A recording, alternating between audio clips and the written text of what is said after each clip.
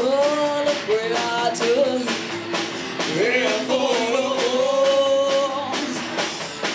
cross through the lights of the train.